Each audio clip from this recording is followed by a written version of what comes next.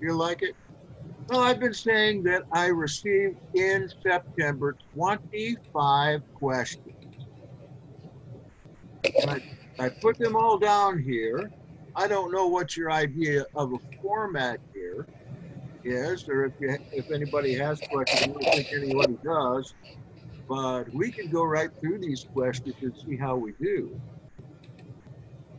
Yeah, I mean, I, I uh, I'd like it to kind of be like what you originally said to me, where we both, both you and I, uh, share our perspective on that topic.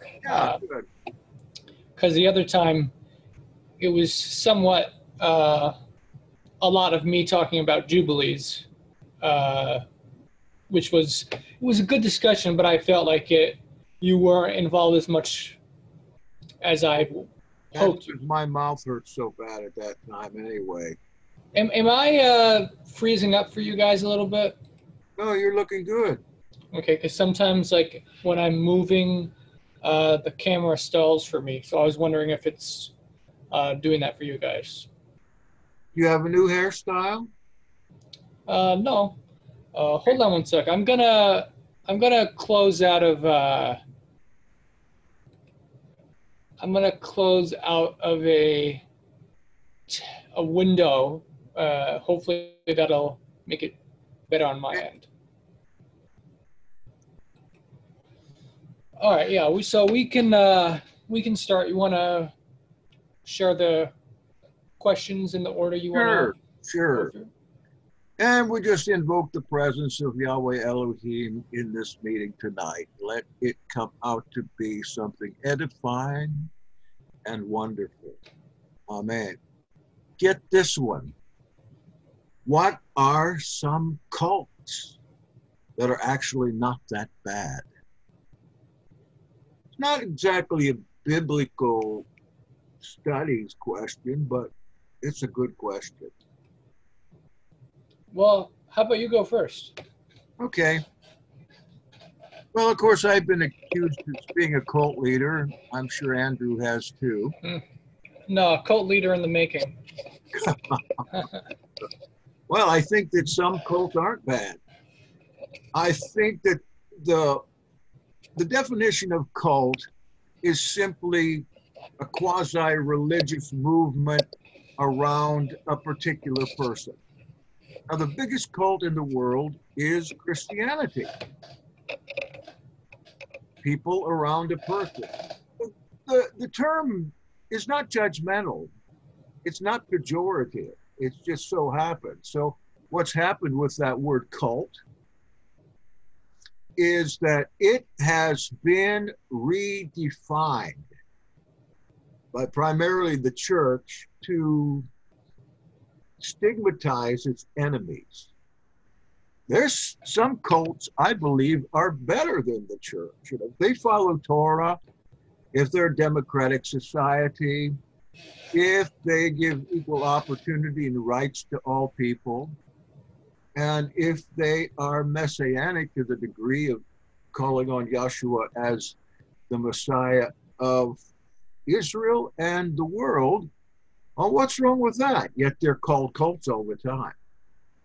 Not not every cult is Jim Jones. They have to be evaluated on the basis by which you are looking for a particular group to be with rather than what your church friends or people around you that have no idea whether it is or not say it is. So the question is what are what are some cults that are actually not bad? Well, Devero Yahad isn't bad. It's it's been called a cult. It's a good depends, it depends who you ask. Exactly. Exactly. All right, that's all I want to do with that. What do you want to do with it? Uh, so, so first of all, uh, I would say that um, I think lab- labels are often designed to by a controlling group to try to delegitimize another group. Stereotyping. Yeah, and so the word cult is considered, you know, negative connotation. Same thing with sect. um, in many ways. It has some negative uh, connotations. So uh, typically, the, a mainstream group like mainstream Christianity will call a group a cult or a sect because it doesn't agree with their ideas. Um, Mhm.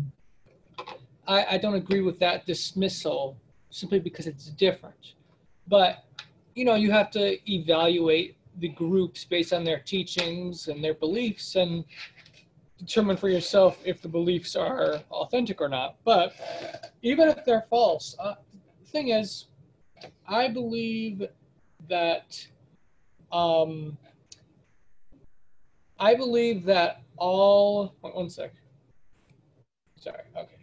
Um, I believe that all religious groups have truth in them, and that uh, no matter which group you are part of, you can find the creator. You can find ethical way of life.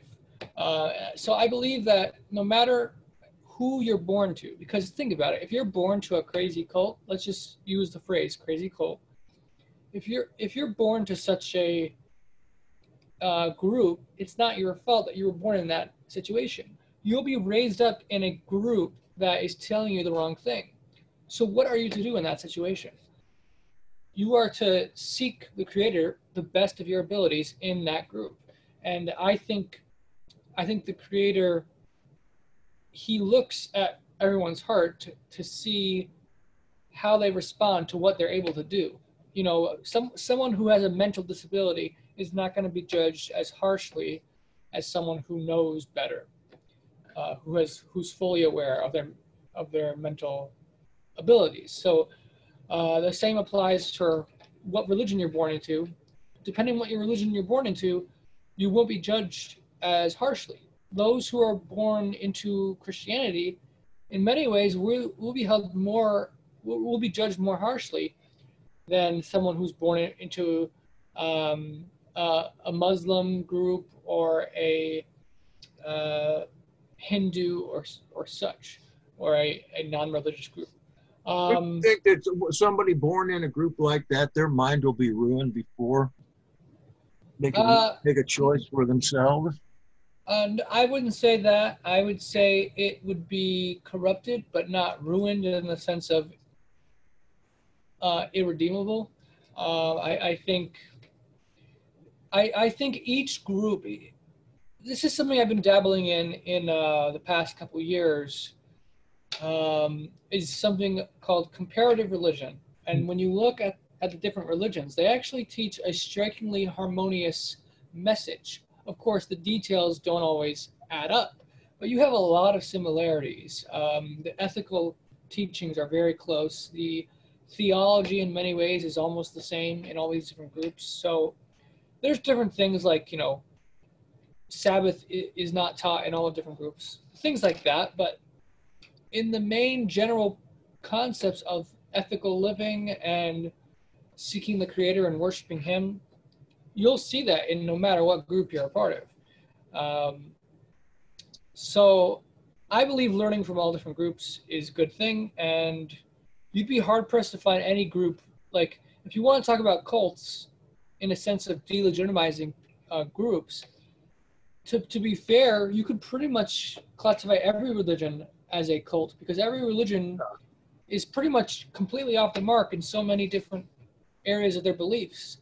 Um, so, uh, but in terms of dangerous cults, that's a better thing to speak about because there are. Um, I- wouldn't call, for example, uh, Hinduism a dangerous cult. I would call it a. It may be dangerous in the sense of spiritually, but it's not dangerous in the sense of it'll lead you down um, a really dangerous path. Not going to end up a murderer. yeah, but there are groups, cults, um, who typically there are several uh, features of it where the the main leader, the, the main uh, founder of the group is totalitarian. Um, you have to do whatever he says. Whatever he says is the way, um, and um, there's um,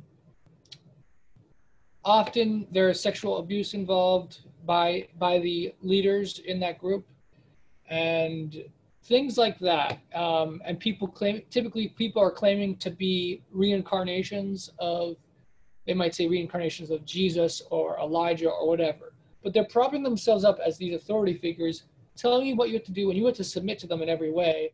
Mhm. And those are the type of cults to stay away from.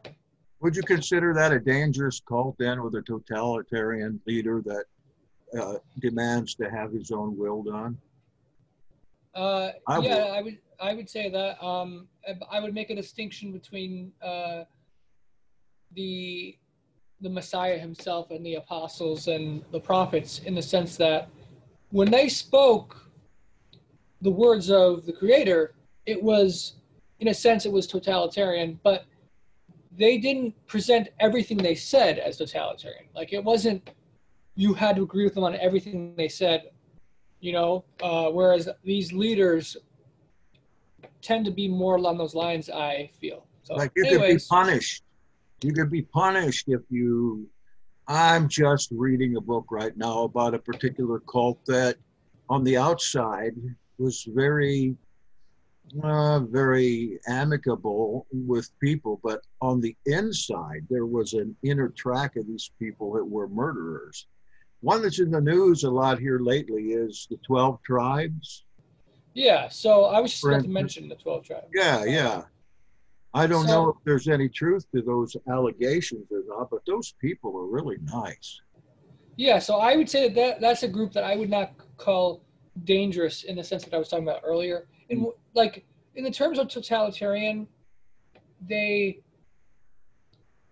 as far as i understand it's a committee. It's not a single person who is uh, telling you everything you have to do. And in general they are living very close not perfectly but they're living close to the way of the dead sea scrolls in many of their things. So um, i think it's a i think there's a lot of value in, in the things they do but i think they get some things wrong. And some of the things they get wrong i think are um, stripping people of their individuality. Yeah. um, like you basically have like i think you i think you have to wear the same clothes like they, you have to wear the clothes they tell you to wear um, things like that. So there are certain things which are overbearing in that sense but um, i don't get the same i don't get the same sense of this is a dangerous cult that i do when i see these people declare themselves to be the reincarnation of jesus for example Has anybody in here been in what you would call a dangerous cult? Kind of hard to find someone. for for what um, basically people who believe for themselves uh, that they were part of a cult. yeah, anybody here? Else we'll go on to the next question if we don't have any comments. Seventh day Adventist. You think that's a dangerous cult? I'm just kidding. I, Oh, okay. I used to be a Seventh day Adventist. That was my joke for the evening. Well, I went to, uh, I worked in a Baptist church up until about 2016 for five years as a musician there. And it was definitely a dangerous cult. Southern Baptist Church. Okay, second question. yeah, next question. Is there any evidence of the existence of Paul of Tarsus that is Saul? Uh, I missed the second part of the question. Is there any evidence of Paul Of the What? existence of Paul? in general? Is there existence Yeah. of his? Um, so you want to answer? Oh, okay. I, I there's no question that Paul existed. I think people get him mixed up with um, guy from Tyana, Apollonius Tyana. Hmm. I did a a show on him, a couple of them last year, and besides the fact that their names are close together and they may have both lived in Tarsus, there's absolutely nothing in common with the two. Yet the rumor keeps going around that Paul and uh, Apollonius is the same person. Now, um, as far as the existence of Paul, we have his letters. And here recently, I just got the Paul's letters that are redacted that took all the uh, in, interpolations out of them and took out the last six books that are most people consider are Paul's. And I'm talking about Ephesians, uh, Ephesians, Colossians, and a few like that that have completely different theology. But to read his his letters, there there is no evidence that he is not a real person. But it seems like these rumors go round and round and round. You know, was Jesus really um, Moses, or was Akhenaten Moses, or did did um, did the twelve disciples actually exist? These kind of things. Well, we, we don't have any evidence of any of that besides what we have in a, a few um, old texts, mostly what the apostles wrote, and certainly what a lot of what Akhenaten wrote. And surely Paul wrote more than a few letters. It's just those things have been destroyed, and usually purposely. But if you if we have any evidence of anybody exist, existing at that time, it would be Paul. So I don't really consider that a very valid question. I think somebody could have really looked into the letters of Paul and made that decision themselves. We also have Paul that are, is interacting with different people that we know lived at that time. One group of letters from Paul uh, called um, Paul and Seneca. Seneca was in the imperial court of Nero and was Nero's guardian. And we have a series of short letters between Paul and Seneca which of course didn't make the scriptures.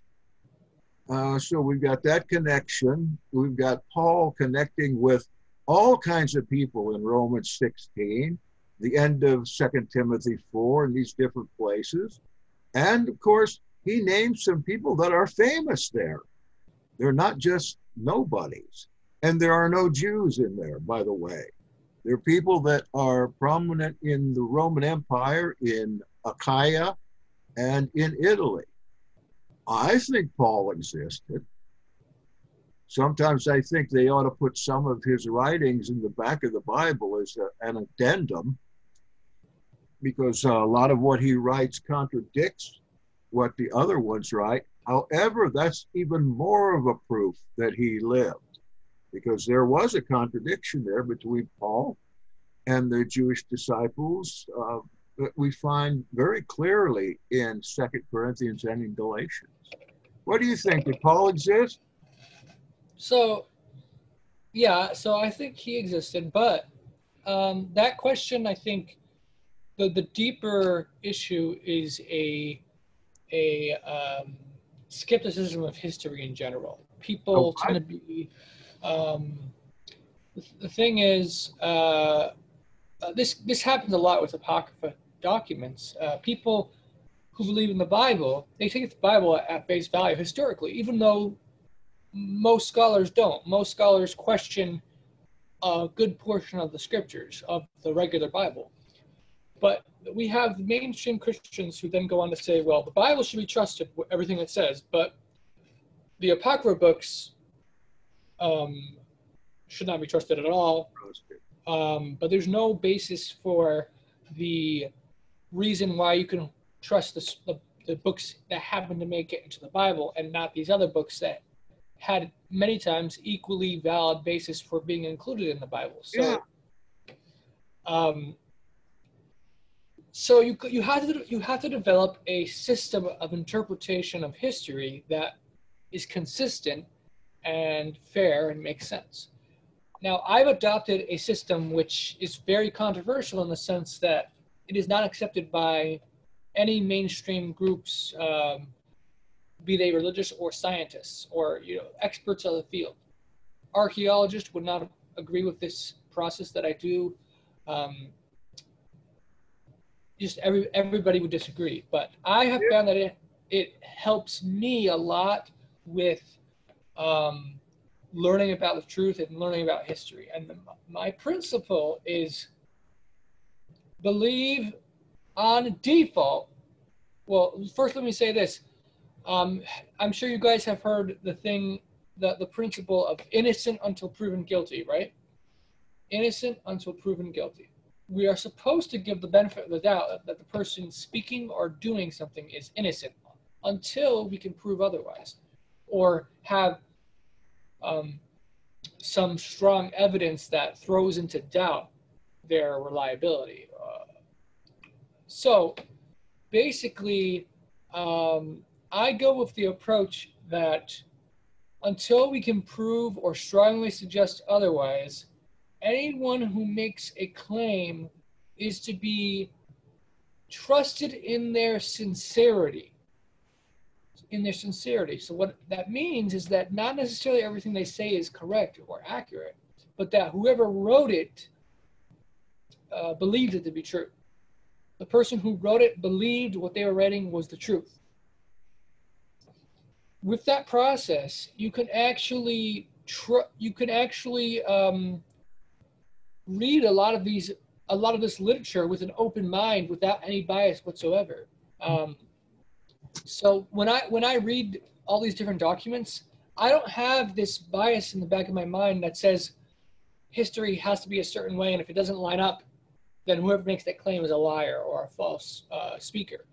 So, because my brain is open to whatever people are saying, uh, I can read it as people truly believing what they're writing. So, how that works is so, for example, you have the book of Jasher.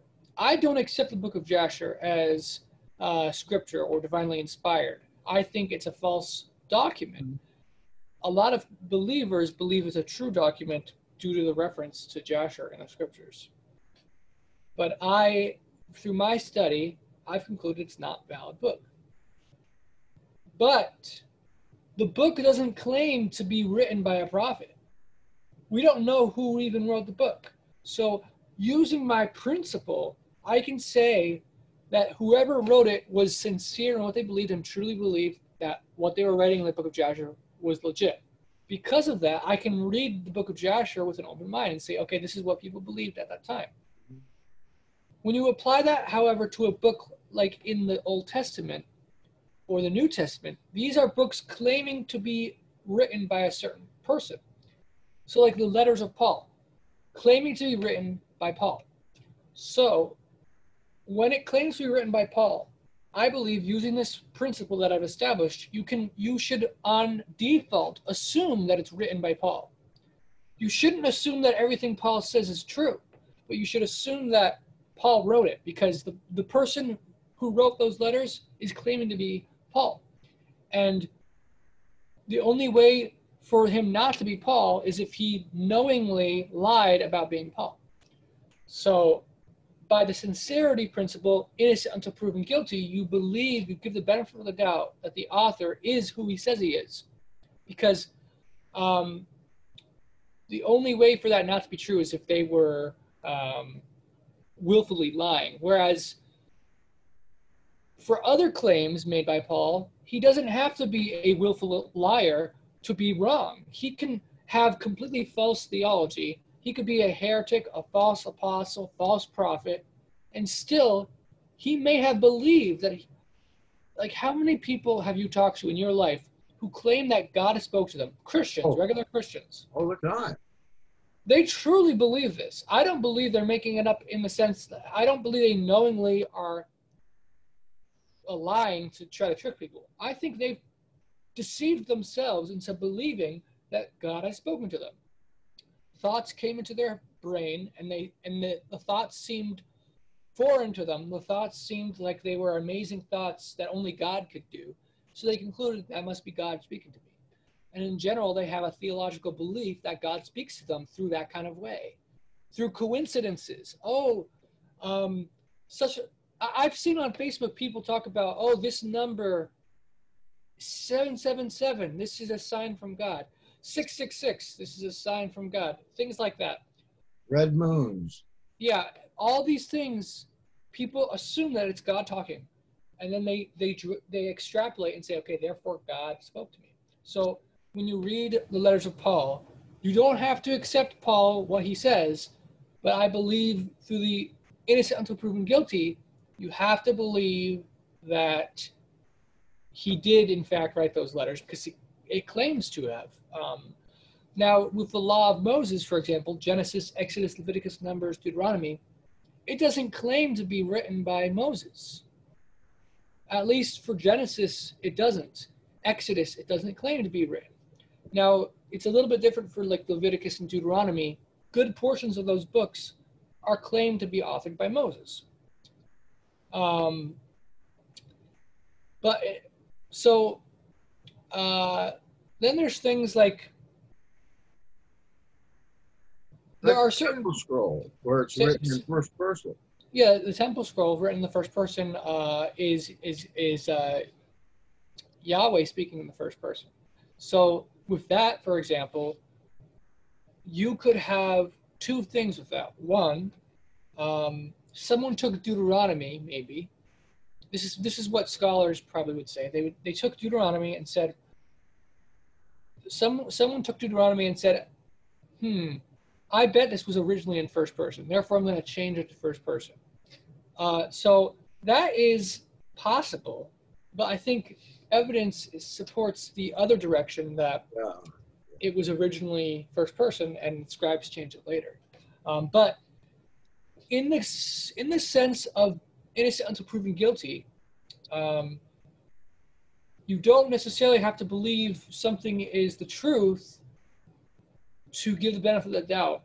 Um, like, for example, the books of uh, Chronicles and Samuel, book First and Second Samuel, First and Second Kings, First and Second Chronicles. Those make claims about history. The innocent until proven guilty approach does not require that you believe everything that those books say, but you believe that the author who wrote those books believed that what they were writing was true history. So, why did the author of those books uh, make those claims? They had to have had earlier sources for which they were basing their their claims on. Whether those claims are true or not, they had earlier sources that they were using. Um, so for me, I just I accept using this principle. I accept pretty much all the apocrypha books as scripture, but I interpret them to varying degrees of reliability because some are more corrupted than others. Um, but then when you apply it outside the scriptures, um, I read the documents of the Greeks, like Plato and Homer, for example. Uh, Homer wrote the Iliad and the Odyssey. He makes a lot of claims about about the uh, Greek gods and all these different things about Troy and such. I, on benefit of the doubt, believe that the basic nucleus of that story is probably true, but some of the details might be false. But the overall narrative, I, on benefit of the doubt approach, believe. Without even reading the books, I believe that because benefit of the doubt. And guess what? Scholars for many years, centuries, were doubting that the books of Homer, the Iliad and the Odyssey, were reliable. They believed they were basically made up. However, in the last century, um, the Hittite documents were found, uh, and the Luwian documents were found, and in those documents, schol- most scholars now believe that those documents corroborate many elements of the writings of Homer, showing that those those stories are based on historical events. Maybe some of the details are made up, but the the core concepts of the history are authentic. So, um, and like for example, the, the, the gods, the various gods of the mythologies, the scholars tell you that that, that these cultures just made these things up. But from the perspective of the uh, the Essene faith, we don't have to believe that those other cultures made it up. We can believe, based on comparative uh, religion, that there were original true events that happened with the Nephilim, the Watchers, and that these events led to later generations uh, remembering those stories and passing them down to their descendants. Uh, so that's a long answer to the question, but I, I, think that uh, if a book exists, that in itself is evidence that it's that the uh, person existed, that that it's being claimed, unless there's other evidence that strongly uh, demonstrates that that document is unreliable in that detail. That's what I would say. Okay, anybody have a question or an addition to that? Anybody have another question? It could be related or it could be uh, something Sure, unrelated. And Jackson has other questions too.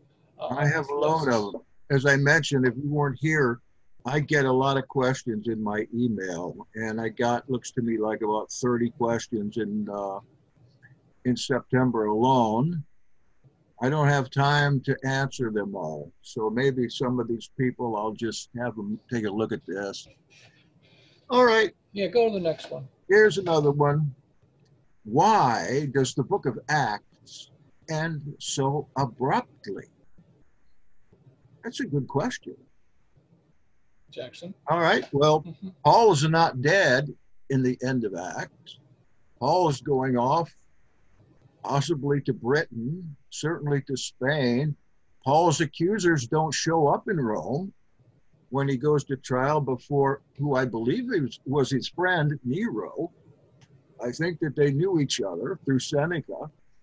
And so it just it's it kind of wraps up there. He's not dead. You know, if it ended up and said Paul got his head chopped off, well, we would understand why that book would end. But the 28th chapter of Acts simply tells us that everything came out all right there in Rome. And he was preparing to take other journeys. And then, you know, we have this uh, uh, Sonnini manuscript that popped up, also called Acts 29, that continues on from Acts 28 and tells us about Paul's um, sojourn through Europe into Britain, then back. And there are other characters in there that we've heard of from the New Testament. So, as far as Paul, I do not believe that Paul died in the Neronic persecution because Paul was too close to Nero and Seneca and those other imperial people that he mentions in Romans 16 and in Second Timothy chapter 4. And there's only really one witness that Paul was executed around 62 to 68 and that was somebody that lived three, four hundred years afterwards that said that in passing, it said there's a monument up here on the Ostia Road where Paul had his head cut off. So why does it, the book of Acts end so abruptly? There's another reason, possibly. I believe that the book of Acts was written by a man called Epaphroditus. I won't go into this, but I have plenty of evidence that the person who we have called Luke is actually Epaphroditus, who was there during the time of Nero and the time of Paul, and who continued on through the time of Domitian 30 years later, and was a very close friend of not only Josephus, but of um, Clement of Rome. And at the end of uh, what we can do with this is we can see that Paul is writing after the um, after Josephus, probably undoubtedly not Paul. I'm sorry, I get mixed up here. That the writer of Acts, Epaphroditus, I'm going to say for the time being, had written his account of the Acts sometime around 94 AD because he relies heavily on Josephus' Antiquities and Jewish War, so heavily that the two of them have correspondences that couldn't be any other way. But why would Acts be a little bit finagled in its history? Well, because at that time, if you got caught as the writer of a book about criminals, you got the same fate as they did. So in the in the mid 90s, we've got Clement of Rome, a friend of Epaphroditus, was executed by Domitian, his own cousin. We have Josephus, probably executed by his own cousin. Why were they? Why was Domitian executing these people? Because they were converts to the messianic faith. And Epaphroditus himself is executed at the same time. All these guys and many more in about 95. And then Clement of Rome's wife goes into a plot to kill Domitian and is successful. Domitian's dead, but not until he had killed all the officials that worked in Rome that had become messianic believers. I think that that's when the the book of Acts came to its climax, that there had to be a quick end to it, or somebody else redacted an ending because the end of Acts doesn't seem a whole lot like uh, the rest of Acts and that the author of that was executed. Epaphroditus, Luke, Clement of Rome, Josephus, all ex, all cousins of the Emperor Domitian, and all executed at the same time, right at the ending of the book of Acts. So there we have it. Paul is evidently still alive at that time or that's all the farther he got with it before uh, being uh, uh, before being executed. A second thing, real quick, Acts has in chapter 17, I believe, and following, the we section, and we read about Paul going around here and there, and the, the account of him traveling is written by an, uh, a traveling companion of his who had this source as well. And then we read in one of Paul's letters that I left Epaphroditus sick someplace. And he writes to the Philippians, we've got to pray for Epaphroditus. He's in the middle of his journeys. And here, Epaphroditus, in my estimation, is the one that wrote the story because he's the only one that has the source of Paul's travels. All right. If you want to know about Epaphroditus, go ahead and look it up on my site. But um, that's why I believe the book of Acts ends so abruptly, abruptly because the author of the book of Acts ended so abruptly. So, um, so for those uh, people like me who might be skeptical of some of the things you've said, have you considered writing your own book or something? Yes, uh, I have. I've got all this stuff down. I just haven't written the book yet. But see, if you don't know the history, there's no way you can know any of this stuff. There is plenty of history about this, and there is no doubt that Paul was close to the Roman Empire, that he was not only close, but he was friends with the emperor. He, you know, he, he appeals to the emperor in Jerusalem because he knows the emperor. And Paul is, um, he is, uh, he's, a uh, Her- he's a Herodian. Yeah, that's right. He's, he's a uh, Idumean, and he is also related to the Herods. Paul's got so, a date up there. So if you could, uh, obviously this will take a lot of time. Now we uh, won't do this now. I've already done it. It's in a but, podcast or two. But if you could basically compile everything you have, all the evidence you believe you have into a book format, and then you know you yeah. could maybe sell it or have it for a free PDF on your page. But that way, for people who might disagree, mm-hmm. but are at least trying to be open-minded to what you're saying, they can read what you're saying. And yeah, just, it's kind of like throwing a bomb in the middle of this discussion because it just happens to be something that I feel like I made some discoveries on.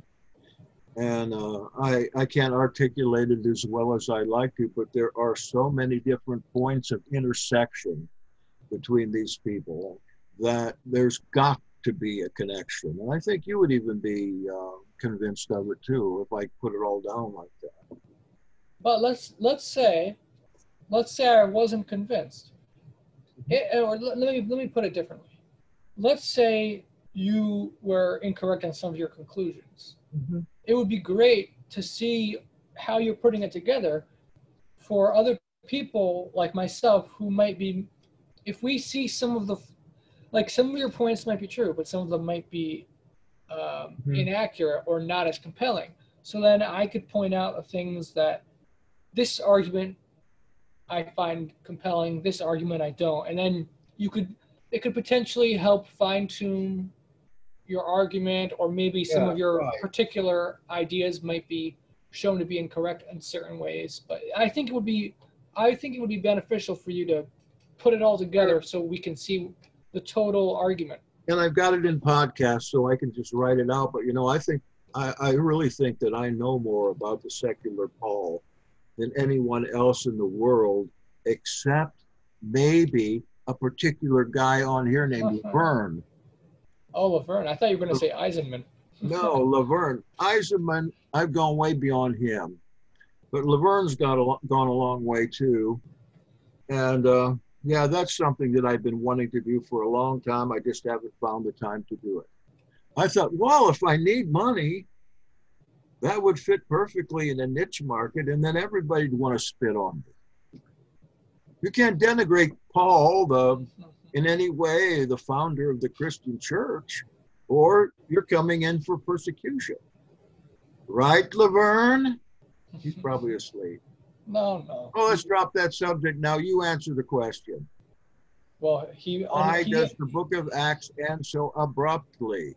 he unmuted himself if he wants to talk Yeah, you will get persecuted. People will come against you if uh, you speak out against Paul. I uh, I get an awful lot of that uh, in the last uh, video I uploaded. It, and it doesn't matter if you have a video that you're talking about Paul. Paul, uh, or rather, people will call you a liar and a child of Satan, no matter what the topic. They'll always come back to if you call Paul false, then everything you teach, uh, you know, you're a liar in that. So, yeah, speaking against Paul will bring people against you. That's for sure. Thank you, Laverne. You're a stand-up guy. I'll just say to that, I, I think um, I think that it's it should be allowed uh, for people to question these things, and for people who don't even allow this discussion, I think that is uh, not uh, righteous. Um, I would even go so far. I don't have absolute proof of this, but I would go so far to believe that in ancient Israel, when they when they are um, putting someone to death, uh, you know, they have a trial. I believe that the person being put to death could have a final statement and say why they think they should be not why they should not be put to death. Um, uh, try, trying to explain their point of view and um, like I always think we should allow the other side to share uh, their perspective. And in, with the issue of Paul in particular, the thing is, um, so for me, I've said before that I think it's spiritually dangerous in the sense of you have to be very convinced that you're right. Because if you're wrong, um, my, my perspective is that uh, the sin of false accusation. So, for example, if I make a claim about Jackson and say that he uh, had sex with a prostitute, that's just something completely random that came to my mind, by the way. So, if that um, any uh, correspondence with the truth is just coincidence. Um, but uh, so basically, if I made that wild claim, I have no evidence for that whatsoever, but I am saying something that could be true, um, but it is if I don't have justification for it, then I would be in sin and for for slander. Um, and so in that sense, for a personal for for a personal perspective, if you make accusations against Paul and you on judgment day you happen to be wrong, well then depending, you know, the, the creator will judge your heart to see if you had justified reasons for coming to those conclusions. If you came to those conclusions incorrectly based on um, whatever, uh, you could potentially be held uh, responsible uh, on Judgment Day. You know, we all be held account to what we Oh, say. Definitely. Uh, James James says every idle word we speak, uh, we will be held account. So, um, I think that applies to whoever you accuse of something, whether it be Paul, uh, whether it be whoever. Uh, if you make an accusation against even you know your your next door neighbor, so it's not it's not about Paul specifically. It's about uh, people in general. If you make a claim and it's a false accusation, you could be uh, spiritually in danger of of uh, something. But I don't think that that risk means you shouldn't be allowed to to state your accusation. Um, and also, uh, like when it comes to Paul, Paul is not a um, Paul is not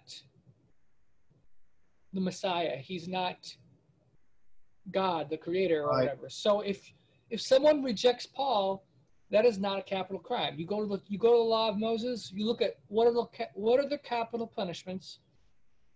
There's no Paul is false in it. There's no rejecting uh I I'm not sure if rejecting a prophet uh, is a capital crime or not. Um, I think what it says is you need, Paul himself says, you need to judge those that prophesy in turn. But, uh, well, we, we do need Paul for spiritual gifts, for resurrection, for different doctrines like that, and for historical markers as well. We can't do without him for those things.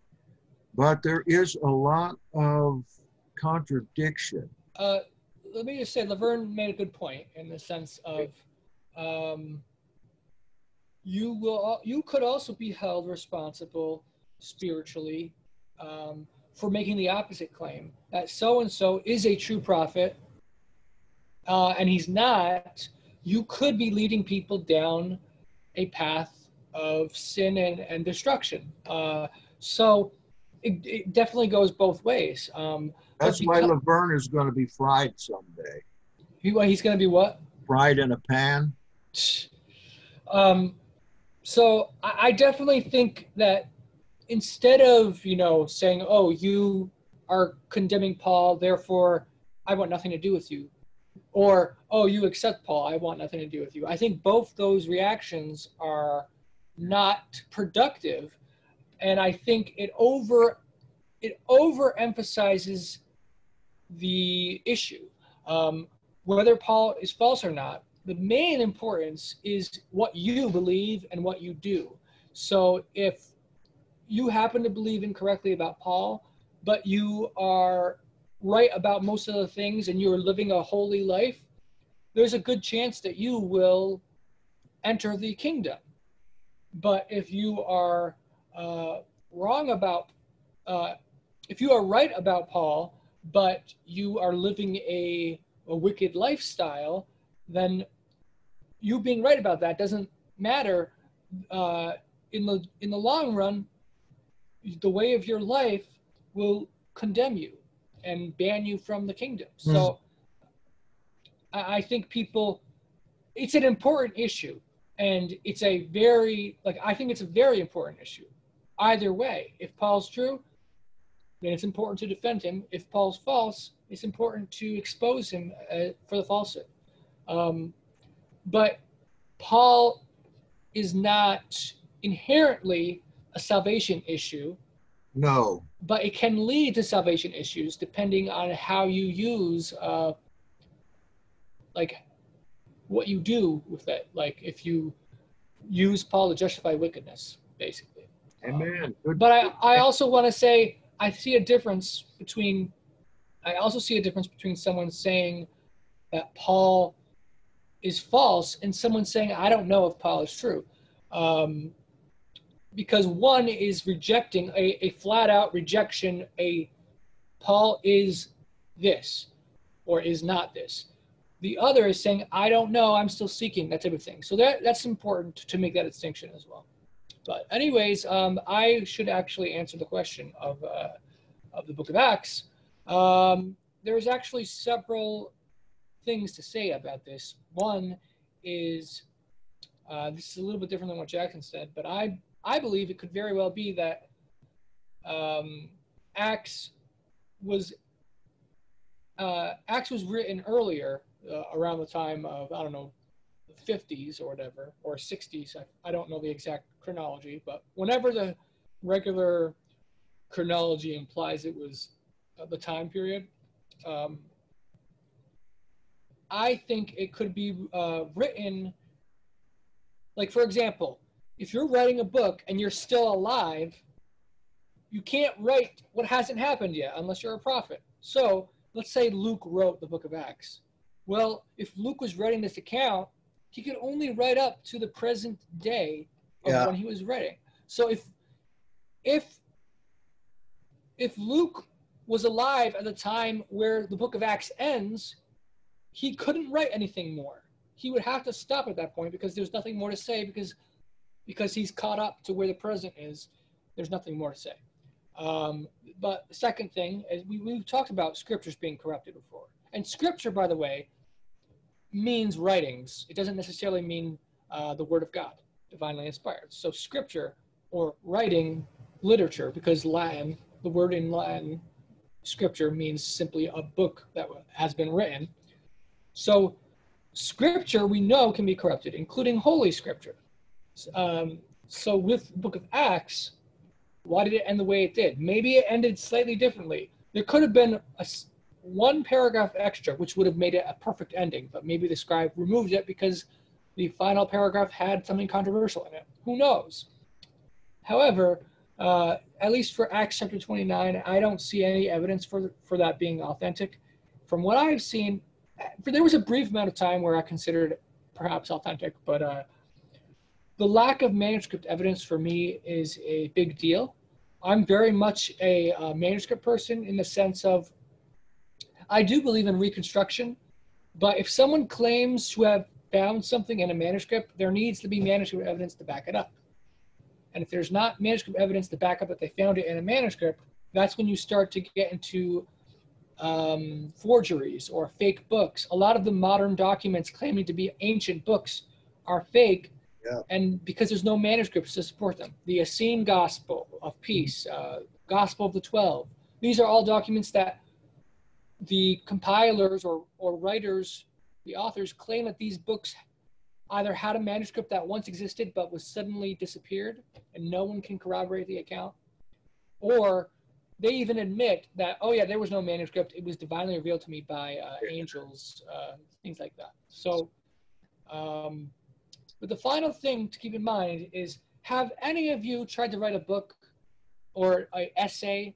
And you're trying to write in a organized manner, but as you're writing, you get tired and exhausted and you start uh, going quicker and you you start being less thorough and like in your in the beginning part of the book or article or whatever that you're writing you're very compact and it's very flowing and it makes sense uh, it's altogether good. But as you as you continue if you don't take a good enough amount of breaks um, you can start to get weary and and uh, you start cutting corners and you you don't uh, you're not as careful anymore. So i've done that for myself. I have rushed things at on the ending part of a book or a, a something that i'm writing in, in a word document because i'm human and i start to get tired and i i get bored so i start rushing and being quicker in what i'm saying so if we keep in mind that the book of acts is not the word of god It, in my belief, I believe most of the Bible is not the Word of God. Only the parts that claim to be the Word of God are the Word of God. The parts that don't, I don't accept as the Word of God. I might accept that they're divinely inspired in the sense of inspiration. Like uh, if someone sees a movie or reads an amazing book or sees a painting and they say, "Wow, that that just really inspires me," or "Your your testimony inspired me. It touched me." That's the inspiration that the scriptures have. The whole of scriptures have, in my belief. Um, like letters, uh, um, the letter of, of Peter or letter of James in the New Testament. I would say the letters of Paul as well, but for people who don't agree with Paul, let's just stick with the people we do agree with James, Peter, John, their letters.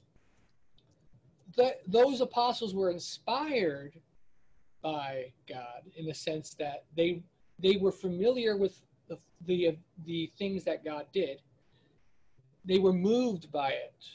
But that doesn't mean God said, okay, say these words, or those are my words, and, and the Holy Spirit is speaking those words into those books. For me, that's my belief. So when it comes to the book of Acts, I don't believe the book of Acts was the Holy Spirit saying, okay, write these words. I think it was whoever wrote it, like Luke, for example. He was writing it as a regular human, and a regular human writing it could write it in a bad way, imper- imperfectly. Um, Laverne was just talking about this the other day, uh, no, earlier today, I mean, um, regarding what the New Testament was written. Uh, was it written in Greek or Hebrew or Aramaic? And with the issue of Paul, what's interesting is um, depending what language Paul was written in, was it written in Hebrew? Did, Paul write his letters originally in Hebrew or Aramaic, or was it in Greek? Well, if it was in Greek, the scholars tell us that Paul's Greek is atrocious. Um, the, the, the Greek of Paul's letters is bad Greek. That's what the scholars say. If that's true, because I'm not fluent in Greek myself, It's not. that's- true. so yeah. Um, but if that was true, Mhm. that I would have to look into that. Um, but that would be an example of Paul writing bad Greek wouldn't invalidate what he says uh, inherently. It would mean it would mean it's not the word of God, but it would mean that he's a human writing his own words. How many of us have written a book and made typos, mistakes? Who's to say that a writer of scripture couldn't have made a mistake in the original? They could have made a typo, but it, of course it wouldn't be a typo, but they could have misspelled words. They could have accidentally not included a word they were supposed to in their original document that they published. Because we have editors. The ancients didn't have editors in the same way moderns do. So they could easily have made mistakes in the original writings. Um, so the book of Acts, whoever wrote it, it could have ended in that way because the writer of Acts was just not always a good writer in certain places. So those are different possibilities. Mhm. So that's my take on it. Uh, Jackson, uh, Laura asked a question that I think is great uh, in the uh, message section. So I think that would be the next one we should do. looking forward here. You see it, Jackson? You, I'll, I'll have you go. I'm looking at, looking around here, but I don't see it. Oh, is this, It's a little bit up. It's uh, is this It's the one where- about the uh, spiritual gift? yeah. Do you all believe? Of course, she's opening the question to everybody here, but also Oh, in particular, uh, me and you could share our thoughts, and then other people can chime in as well. Oh, all So right. You, how about you go first, Jackson? Uh, it, does it start out the word of knowledge? Yeah. Do you all believe that God still exists, uh, still speaks to us today through the word of knowledge or the word of wisdom, Yeah, I'll, I'll start on that. I the Holy. Spirit, and the gifts of tongues? I believe in, in these, these particular gifts in First Corinthians 12 are called pneumatikoi. That is spiritual things. They're different than charismata, which we find in Romans 12. But as for the spiritual things, these are what, what have been called power evangelism gifts. Yes, um, in my family and experience all my life, these have been in operation and still are. Um, and uh, this this goes to the question about inspiration. By the way, I was just going to write this up, but I didn't get it done. And that is, I don't see that scripture, sacred writings, can be determined as sacred writings because a committee says they are. Because uh, uh, there are numerous sacred writings that the committee, I'm talking about the Council of Laodicea in, in the end of the fourth century, throughout that or destroyed that have come to uh, the fore in these last 150 years that are tremendously inspired, but they're so Jewish. So the way I've come about learning how to hear the word in scripture is I want the Spirit to inspire me to read it. I will read along in the scripture, whether it be in the Bible or not, and all of a sudden I'll read a portion that just lights up, just like you light up in a spiritual gift. If you've ever been baptized in the Holy Spirit, it's a visceral experience. You feel it in your body, you feel it in your mind. It's something you can say, Yes, I know because I have experienced this. It's the same way with me and Scripture. And it could be that some are inspired at some time and they're not inspired at another time. It depends on what the Holy Spirit is doing with you now, not 10 years ago, not when you were a child. What is going on now? So I don't pay any attention to the Jewish canon or the Protestant canon or any of that stuff. Like like Andrew, I read them all and I do so with the hope and prayer that if there's something in there for me, word of knowledge, uh, word of wisdom, or, or prophecy, it will come out lit up. It will come out, and I'll have the visceral feeling of knowing, as Joshua said of the apostles, you don't need any teacher anymore. You have the Comforter, the Holy Spirit, to teach you. However, most people will claim that they do when they really don't. So that's where I am with this now. I was, uh, I spent years and years and years searching for canon. And especially once I got into a more ta- um, Torah centric mindset, the whole idea of the men's canon just went away. And you know, I've done a lot of work in apocryphal writings, lots and lots of that in the last 30 years. And uh, there are some things that are very inspired in some of these books. I feel like Barnabas is certainly an inspired book. The Didache is without a doubt inspired. Yet these things were destroyed in the time that they put forth the canon uh, for the Catholic Church because they were just too Jewish. They were too Torah centric in, the, in an age when they were trying to get away from that. So pray for the inspiration of the Spirit when you read the, the, the words. And gee, you might even get something out of the Book of Mormon for that matter. Uh, you, you don't know. The Holy Spirit can inspire any kind of text to you. And when you get used to knowing what that feels like, then you can rest assured that's for you for that day. Thank you. Um, so, so my perspective is a little different in the sense of, um, well, especially in regards to tongues, I do not believe in the gift of tongues as it's traditionally understood. Um, you don't see really anywhere in Scripture that tongues um, are languages that nobody knows. Um, When you, when you experience it, you will not have a doubt about it. well, all I can say is from an outsider perspective um, and from a logical perspective, of course, you know, many people will say these things are not logically based, but um, I think you know people will appeal to the scriptures and say, see, the, the, it says gifts of tongues here. But when you go to the context of those documents, every time you see the tongues ha- occur, it is actual human languages, and it is um, a way of communicating to someone else that you don't know the language, but you don't know the language through your through natural means, but through spiritual power, you are somehow able to know this language. Um, I'll give you an example of something comparable to this um, through nature, through science, which is interesting. Um, there have been instances where people have had major brain damage. They wake up not being able to Yeah. talk in in their native language. They're talking in another language, um, but it's an actual language. Um, but it's a language they may have learned before.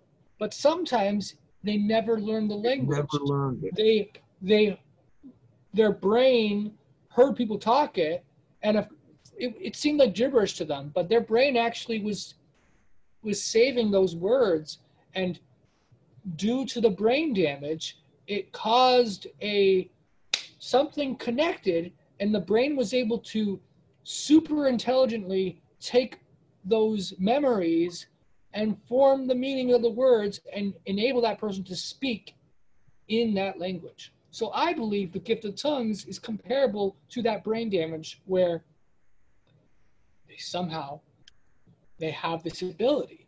But I don't believe from at least from what I see uh, that there's evidence in the scriptures anyway for the concept of speaking in tongues that um, is a language unknown to anyone. And I will say that um, there have been studies, of course, you know, these are from people who don't believe in the gift of tongues, but there have been studies of tongues, and they concluded that it it is very reminiscent of gibberish in the sense that there's no, there's not really um, and I don't I don't have um, sources by the way to back that up. I'm just speaking from my memory, so uh, I would have to I would have to look that up uh, for any specific studies. But I pretty I'm pretty sure I remember hearing or reading about uh, people who have looked into it and they have seen that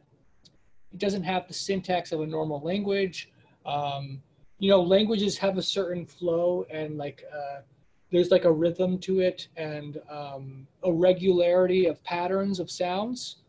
Um, and if if and if a language that's being if, if someone's talking and claiming to speak in a in a in a unknown language, if it doesn't have any of the marks of a language, and by all appearances it's just gibberish, then um, the burden of proof would be on the people saying it's a it's a real language. But of course, a lot of people will still stick to it and say, "I have faith that I'm speaking uh, in the tongue." Well, you know, we- we've got, we got to, our time is up, but I would sure like to address that next Oh, I thought we were going to 10:30. We're only going to. Uh, Oh, 10 we can go to 10:30. Well, Yeah, what, what, do, sorry. what do you want to do? Uh, I just looked what- at my watch and I thought it's a quarter after. We've gone over an hour, but why, why not if nobody disagrees? You're right. I think on the event I said 10:30, didn't I? Yeah.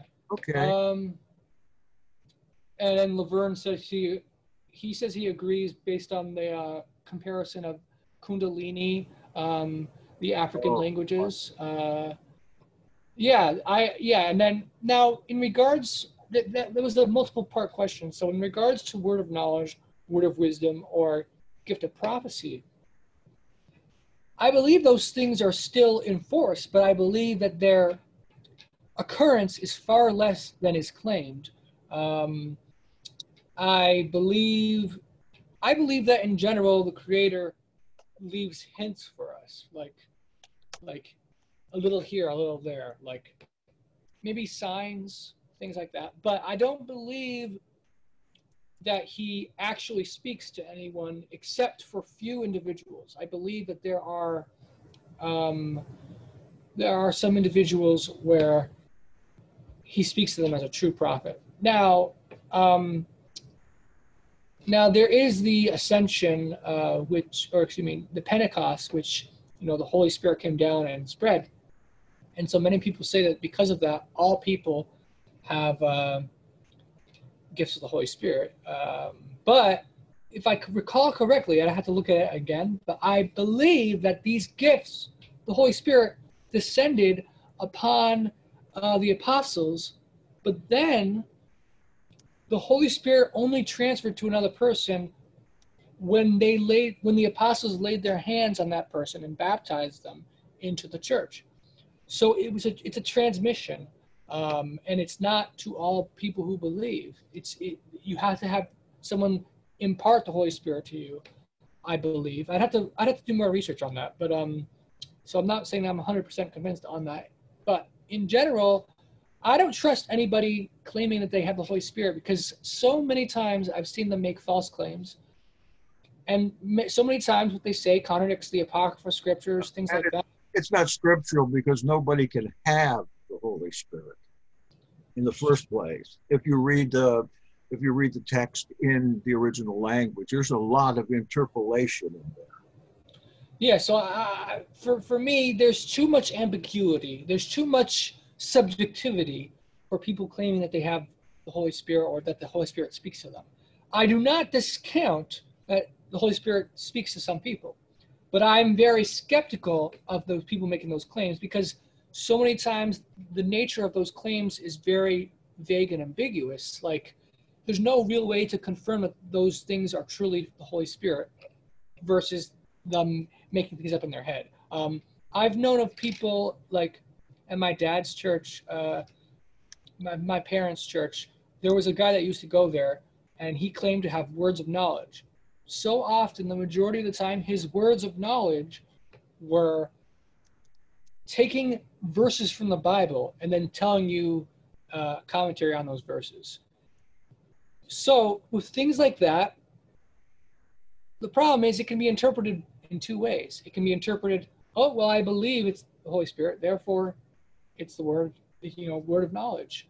On the other hand, it can be explained naturally by them simply doing a commentary on scripture. And it's a, it's a, it's a cheat because if you say that that person's not speaking the word of God, then you're, and they say, but I'm, all I'm saying, well, well, I'm just quoting the scripture. So of course it's the word of God. Like that's like a loophole in a sense.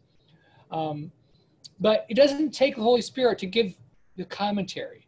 And why is it that the Holy Spirit always tells these people what they already believe um, or beliefs that oh. agree with their general church doctrine? Um, so I am very skeptical of people claiming to have the Holy Spirit. Now, if you have somebody who says they have the Holy Spirit and they're saying things there's no way they could know, you know, if they're if they're coming up to you and saying, when you were when you were a uh, five years old, so and so abused you, um, and you've been holding in this whole time. You haven't told anyone, and I want you to know, blah blah blah. That people have said that that's happened before. In those cases, it's pretty hard to argue that that's not the Holy Spirit, or some some miraculous intervention from spiritual realm to reveal that kind of information. That's not you can't really guess that. But if someone says, you know, the Holy Spirit revealed to me that uh, Jesus is God. Well, that isn't compelling because that's an interpretation of Scripture. You're just you're just spouting your own beliefs and then believing, maybe sincerely, you sincerely believe it's the Holy Spirit telling you this, but it really can be naturally explained.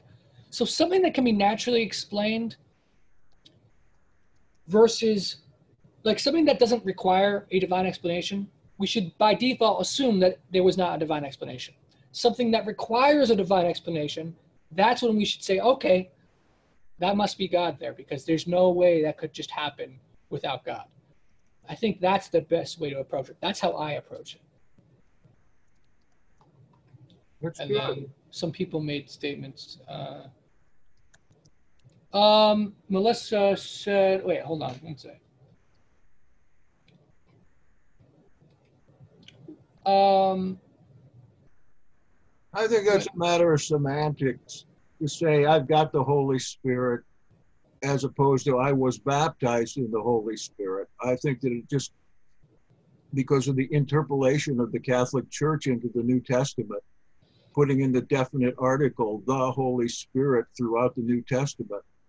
If you go back to the Old Testament, it like uh, in Psalm 51, it says, and take not the Holy Spirit from me. However, that's not what it says in Hebrew. It takes, take not a Holy Spirit from me. There's a human spirit, there's the Holy Spirit. We got this idea from the Pentecostals that the Holy Spirit comes in and lives in your body along with your spirit. See, there's confusion there, primarily because of, again, the mistranslation of the Greek text and how it's come into uh, into a form of doctrine through, again, the Catholic Church. Um, I did want to say that um, there are things in the Gospels that people twist um, into what I believe is twisting anyway. Um, for example, passages would say, um, have the Messiah saying, You will do things greater than I have done. In other words, you know, the Messiah did many miracles, and then he, he said, You will do greater things. So people take that and say, Well, that means believers will do greater things. But that does not what it says. If you look at the text, he's clearly addressing his, his direct successors, his apostles. He's saying, You, 12 apostles, will do greater things than I have done. He's not saying all the believers who have the Holy Spirit from now until the time I come back will do greater things than I have done. He's specifically addressing his 12 disciples and saying they will do greater things. And what we see is that in the Apocrypha documents, there's there's acts of different apostles. Now, you know, you could argue that some of these documents um, are not um, you could argue that some of these documents are not uh, as reliable as others. But in these documents, the apostles do some crazy stuff that's unbelievably amazing if they actually did it. If they did these things, these apocrypha acts say that these apostles did, these are definitely greater things than the Messiah ever did on earth Mhm. uh, during his three year ministry. There's just like, you know, raising people constantly from the dead. There's all kinds of weird stories where it, it's shocking stuff that if ha- if it happened is um, greater than what the Messiah did. But but remember the context of the original writings. Some things that the New Testament or the Old Testament says are not talking about all believers, but people twist it to refer to all believers. Um, for example, one verse commonly quoted is, All we like sheep have gone astray. People will quote that verse and say, All humans have gone astray. But that is not what the passage says. It, this is Isaiah talking about Israel in the ancient time. Israel at that time period had gone astray. So Isaiah was speaking from the perspective of ancient Israel, saying, All we Israelites have gone astray. He's not saying all people who have ever lived have gone astray and sinned and need a, a savior. So that's just one of the many, many ways that people twist scripture by taking what was originally a very specific target group, an audience, or a focus of reference, and then they start applying it to other groups that it's not intended to be applied to. You could take things that Paul writes. Paul was writing to very specific churches, and he was addressing certain issues. We don't have the full context of Paul's letters. Some things he was addressing might have been very specific to that church. And yet people will take that letter and say, oh, well, Paul said this for that church, therefore it applies to everybody. But that might be a false leap of logic. Uh, of, course, if you don't accept Paul, that's a that's a bad logic because Paul what Paul say would just be his opinion. But if you accept Paul as reliable, at the same time, you can't believe that everything he says is referring to everybody. There, there's a there's a passage in one of the letters of Paul where it says, "Bring the cloak I left, or bring the bring the parchments I left at so and so's place." That was a very specific thing. And then another thing was Paul said, "Say hi to your grandma, Lois." Uh, he was talking to Timothy. So I can tell you that if you have a grandmother named Lois, or you have a grandmother in general, you shouldn't take that passage and say, "Oh, I should, I better say hi to my grandma," because Paul, Paul said you need to say hi to her. You need to say All hi to Cretans are liars. What, what's that about? All Cretans are liars. And then he says, this is true. Oh yeah, yeah. That's the common. Uh, I, I, have a, I have a question, Jackson and Onya. Um, Yeah. Melissa's putting some scriptures in the chat. If someone would like to address those, because Jackson, you did make a very good point in the retort when you said the is is not in there. But if you can address the three scriptures, because she has said that she has put three scriptures that refute what you have said, and you're not addressing it. So, First John, John 14. All of fourteen, them. Oh, I'm looking at him. and First Corinthians. trying to address them. Um, what I was saying there is that through Catholic interpolation in the Greek and Latin texts, a definite article is put on before pneumahagios, Holy Spirit, to make it, and then it's capitalized in the Bible as the Holy Spirit as though the Holy Spirit was some ghost flying around here and there. Um, I'm just saying that there was there's no definite article. It should be taken out. It really says a Holy Spirit. Well, I also want to say. Oh, keep going, Jackson. Sorry. Well, that makes a big difference in one's theology. But The As same one covered above the face of the waters when on the day of creation when he was creating. You know, wait, what does it say in Genesis? yeah, In I the don't say Holy God Spirit, but like I and the earth. said, I don't want to argue with anybody. I want to. I want to celebrate spirit the diversity. the face of the waters and god said let there be light and there was light well i'm just saying that it doesn't say a holy spirit well, you know who he is Not necessarily. Uh, kadesh i mean the there's word, not no, wait a minute. The word there, ruach, means three or four different things. It Um, means a wind or a breeze as well as spirit, and it means a breath too.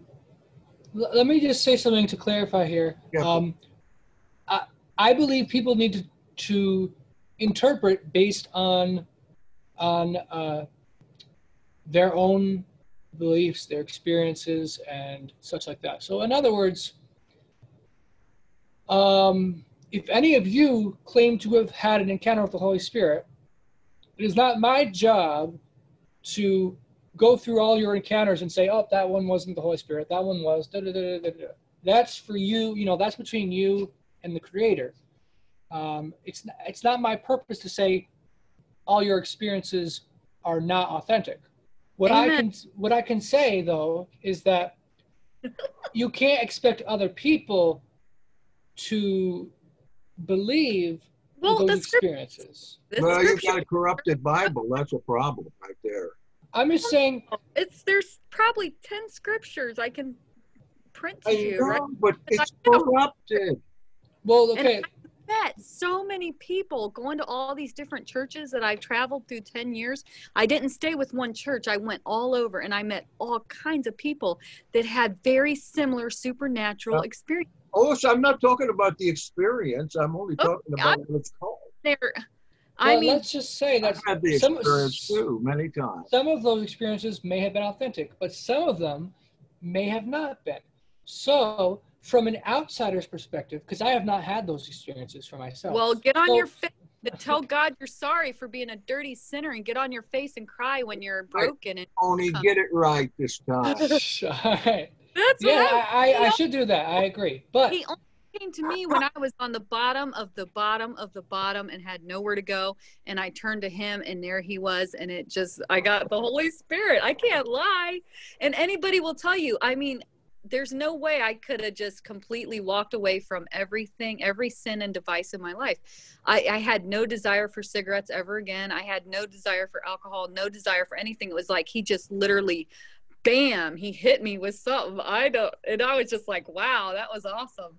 So I mean, I had Yeah, it it's some, baptized in the Holy Spirit. when when Yeshua says you must be born again.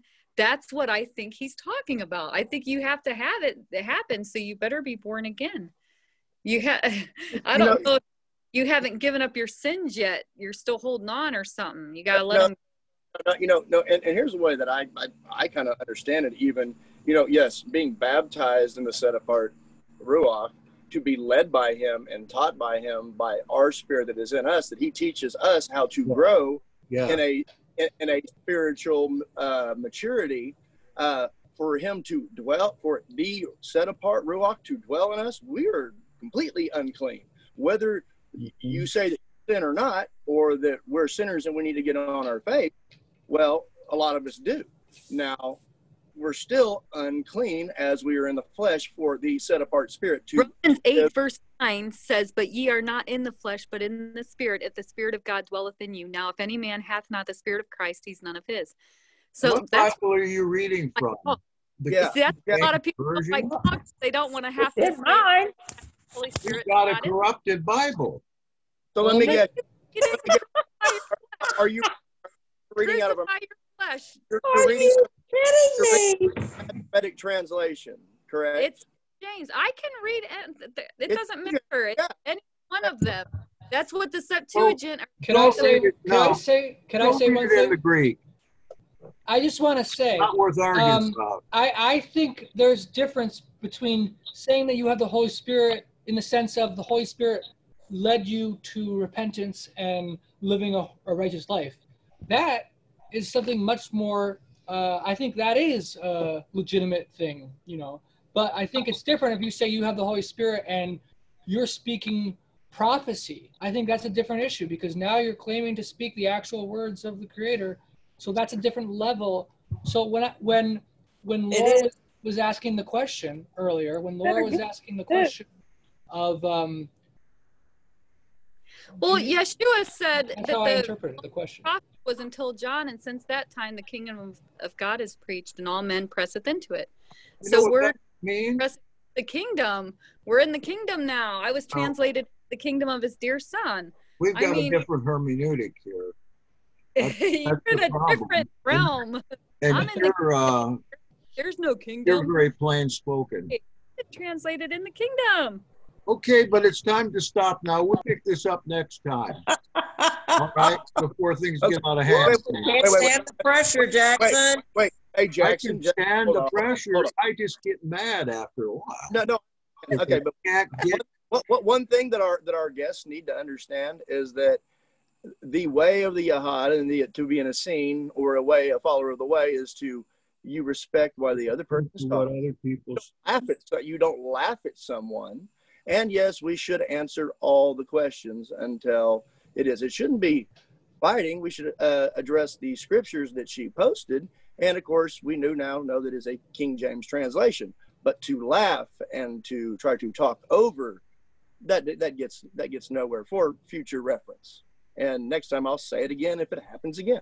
Yeah, we'll, we'll put that up in the in the at the beginning next time. But we do have to go now. It's been an hour and a half. Uh, one of the things we want to do is keep things within the time because when we get more people, they're going to start falling off, and then we're going to end up just in these long discussions.